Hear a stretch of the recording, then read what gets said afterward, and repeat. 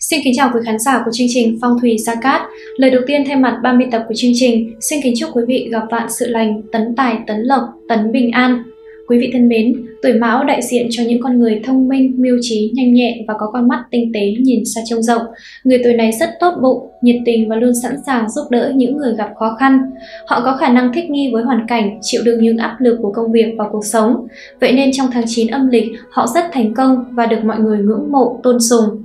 Tháng 9 âm lịch, những gia chủ kỳ mão 1999 được quý nhân tương trợ giúp đỡ, vậy nên quý vị hãy mạnh dạn đưa ra những quyết định mạo hiểm, liều lĩnh. May mắn là tuổi kỳ mão đón nhận tin vui trong tình cảm, người độc thân sau quãng thời gian dài tìm hiểu đối phương, nay đã nên đôi thành lứa, tận hưởng hạnh phúc trọn vẹn của mình. Các cặp đôi đang yêu hóa giải được những mâu thuẫn, bất đồng trước đó để có được tiếng nói chung cần thiết. Mời quý vị cùng theo dõi video để biết thêm chi tiết.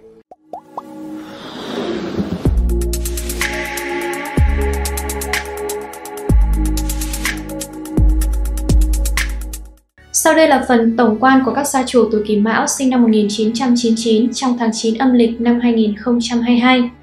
Người tuổi Kỷ Mão mệnh thành đầu thổ có cát vọng lớn, có trí tại bốn phương, họ mơ ước tự bay, gây dựng cho mình một đế chế, tay trắng làm nên sự nghiệp. Cũng chính vì thế, có chí hướng như vậy nên người này thường xa gia đình từ rất sớm, tự mình lập nghiệp, phát triển ở bên ngoài, sau này thành đạt mới trở về vinh quy, bái tổ. Tính cách của họ có phần cao ngạo, lại có tham vọng lớn, thấy cái lợi không biết điểm dừng, thậm chí có phần hơi tham lam. Nếu biết nghe lời khuyên bảo, góp ý của người khác, biết tìm cho mình điểm dừng,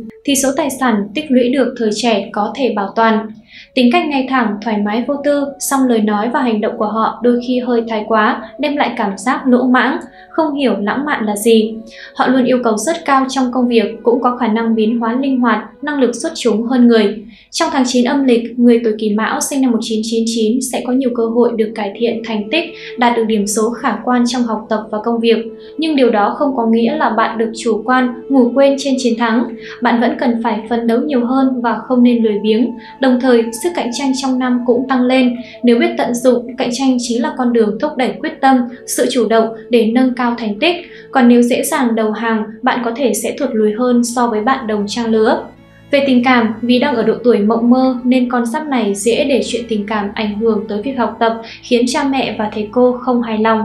Xét về thiên can, kỳ âm thổ gặp canh dương kim nên gọi là chính ấn, nghĩa là bản thân được dinh dưỡng, nuôi dưỡng. Đây là tháng khá tốt cho các gia chủ tuổi kỷ mão. Nếu có cơ hội tốt, cần phải nắm bắt tới sẽ có tài lộc, sự phát triển tốt đang chờ đợi bạn phía trước.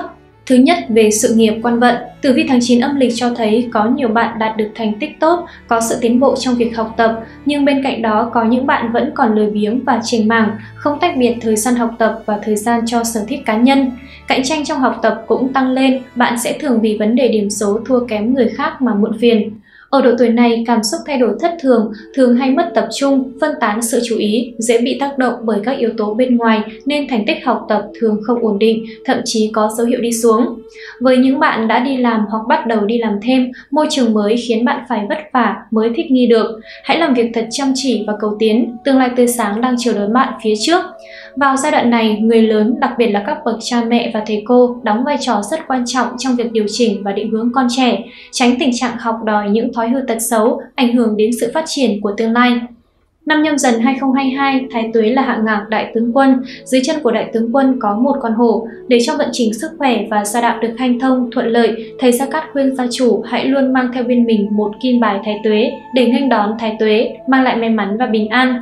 Đặc biệt, kim bài Thái Tuế của phong thủy Gia Cát được thầy Gia Cát trực tiếp khai quang, chỉ chú và xem ngày sử dụng cho tuổi Kỷ Mão để mang lại tác dụng phong thủy tốt nhất hiện nay. Vậy nên gia chủ hoàn toàn có thể yên tâm khi sử dụng kim bài Thái Tuế của thầy. Thứ hai, về mặt tài lộc và tiền bạc. Vấn đề tài chính của những người tuổi kỷ mão về cơ bản vẫn được gia đình đáp ứng đầy đủ. Tuy nhiên, bạn có thể sẽ chi tiêu khoản không nhỏ cho sở thích cá nhân và thấy tiền tiêu vặt cũng không đủ. Từ đó có suy nghĩ tự mình kiếm thêm tiền từ các công việc tạm thời. Điều này phụ thuộc vào khả năng, sự học hỏi và cả sự cho phép từ phía gia đình. Bạn nên tham khảo ý kiến của cha mẹ trước khi quyết định bất cứ điều gì. Với những người đã đi làm, tháng này tài lộc có vẻ không được như ý, công việc tuy vất vả hơn nhưng bạn lại không đạt được mức lương thưởng như mong muốn. Mức chi nhiều nhiều hơn mức thu dẫn đến việc thiếu hụt về tài chính, phải vay mượn thêm để chi trả. Để tiếp tục cải thiện vận may trong tài lộc, thầy Gia Cát khuyên gia chủ hãy luôn mang bên mình vòng tay, tam hợp quý nhân hợi mão mùi, giúp hóa giải xung sát, chiêu mời quý nhân, quý thần tương trợ, dùng để hóa giải thị phi, tiểu nhân hãm hại. Khi những điều xấu không còn, điều tốt đẹp sẽ đến với bạn, từ đó tài lộc kéo đến ầm ầm, may mắn không gì bằng. Đặc biệt vòng tam hợp quý nhân cũng được thầy Gia Cát trực tiếp khai quang, chỉ chú và xem ngày giờ sử dụng cho các gia chủ để vật phẩm mang lại công năng phong thủy tốt nhất. Thứ ba, về mặt sức khỏe, trong tháng 9 âm lịch, sức khỏe con giáp này không có điều gì đáng lo ngại vì đang ở độ tuổi mới lớn nên cần chú ý nạp đầy đủ dưỡng chất, sinh hoạt lành mạnh, tập thể dục thường xuyên để cơ thể phát triển tốt. Vấn đề ăn uống cũng cần để tâm, hạn chế ăn uống theo sở thích, nhất là những thức ăn đường phố rất dễ bị ngộ độc thực phẩm hoặc mắc các chứng bệnh về dạ dày. Các gia chủ tuổi Kỷ Mão hãy luôn mang theo bên mình pháp khí phong thủy, bát bảo tâm kinh. Đây là vật phẩm phong thủy có tác dụng kỵ tà, hóa sát, đem lại may mắn, bình an và sức khỏe cho gia chủ. Để vật phẩm phát huy tác dụng tốt nhất, thầy Gia Cát sẽ khai quang trì chú và xem ngày giờ sử dụng vật phẩm theo tuổi của các gia chủ tuổi Kỷ Mão. Thứ tư, về mặt tình cảm gia đạo. Tháng này đào hoa khởi sắc giúp cho người tuổi Kỷ Mão kết giao được với rất nhiều bạn bè mới, mở rộng mối quan hệ, một số bạn bắt đầu nảy sinh tình cảm khác giới, ít nhiều ảnh hưởng tới việc học hành. Nhưng vì ở độ tuổi đang lớn nên cái tôi khá cao, bạn có thể tỏ ra khó chịu với sự can thiệp từ gia đình về các mối quan hệ của mình. Cần tỉnh táo để nhìn ra đâu là mối quan hệ tốt mình nên duy trì, đâu là mối quan hệ độc hại cần tránh càng xa càng tốt để không gây ảnh hưởng tới tương lai của mình. Hơn nữa, cha mẹ là những người đi trước sẽ có cái nhìn tinh tường và hiểu lòng người tốt xấu ra sao. Bạn nên lắng nghe và tiếp thu nhiều hơn thay vì đối chọi chỉ để thỏa mãn cái tôi của mình. Tổng quan tháng 9 âm lịch năm 2022, tháng canh tuất năm nhâm dần.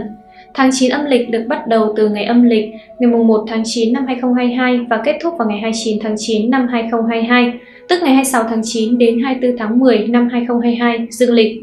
Tháng 9 canh tuất có nạp âm là thoa xuyến kim, tháng tuất lục hợp mão, tam hợp dần và ngọ thành hòa cục, xung thìn, hình mùi, hại dậu, phá mùi, tuyệt thìn. Đối với những người tuổi kỷ mão trong tháng 9 âm lịch cần tránh các ngày sau. Ngày âm lịch ngày 4 tháng 9, tức ngày 29 tháng 9 dương lịch có nạp giáp là ất dậu, có nạp âm là tuyền trung thủy. Ngày âm lịch ngày 16 tháng 9, tức ngày 11 tháng 10 dương lịch có nạp giáp là đinh dậu, có nạp âm là sơn hạ hỏa. Ngày âm lịch, ngày 28 tháng 9, tức ngày 23 tháng 10 dương lịch, có nạp giáp là kỷ dậu, có nạp âm là đại dịch thổ. Đây là 3 ngày không được cắt lành khi tính theo tuổi các mệnh chủ tuổi kỷ mão. Trong những ngày này, mệnh chủ cần phải hết sức chú ý, tốt nhất không nên thực hiện những công việc quan trọng. Lời khuyên từ các chuyên gia phong thủy cho bản mệnh là nên chú ý tới sức khỏe nhiều hơn, chi tiêu tiền của vào những việc cần thiết và không nên vung tay quá chán. Các ngày tốt đối với người tuổi kỷ mão trong tháng 9 âm lịch năm nhâm dần 2022 Ngày âm lịch ngày 5 tháng 9, tức ngày 30 tháng 9 dương lịch, có nạp giáp là Bính Tuất, có nạp âm là Ốc Thượng Thổ. Ngày âm lịch ngày 17 tháng 9, tức ngày 12 tháng 10 dương lịch, có nạp giáp là Mậu Tuất, có nạp âm là Bình Địa Mộc. Ngày âm lịch ngày 29 tháng 9, tức ngày 24 tháng 10 dương lịch, có nạp giáp là Canh Tuất, có nạp âm là Thoa Xuyến Kim. Đây là 3 ngày cắt lành trong tháng để gia chủ tiến hành các công việc liên quan đến xuất hành hay tiến hành những công việc quan trọng sẽ dễ có kết quả cao, hoặc những vấn đề nhỏ trong gia đình bạn tiến hành đều hết sức thuận lợi. Ngoài ra, việc lựa chọn ngày tốt cần phù hợp với tuổi gia chủ trong những công việc như tiến hành động thổ, ngày giờ mua xe mới, ngày giờ cưới hỏi. Để chọn được ngày giờ đẹp phù long tương chủ, ngày giờ tài lộc của gia chủ, anh chị và các bạn hãy để lại thông tin dưới phần bình luận theo mẫu, họ tên, cậu ngày tháng năm sinh, cậu số điện thoại, hoặc anh chị có thể liên hệ trực tiếp tới số hotline hiển thị trên màn hình để được tư vấn hoàn toàn miễn phí.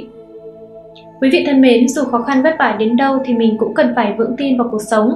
Số phận trời sinh mỗi người mỗi khác, ai cũng có sứ mệnh riêng của mình. Hy vọng thông qua việc luận giải tử vi của tuổi Kỷ Mão sinh năm 1999 trong tháng 9 âm lịch sẽ giúp đỡ được quý vị phần nào trong cuộc sống, có những bước đi vững chắc và thành công hơn. Rất cảm ơn quý vị đã theo dõi chương trình. Quý vị đừng quên bấm vào nút đăng ký kênh và chuông thông báo để ủng hộ chương trình nhé. Còn bây giờ thời lượng của chương trình cũng đã hết. Xin chào và hẹn gặp lại quý vị ở những video tiếp theo của chương trình.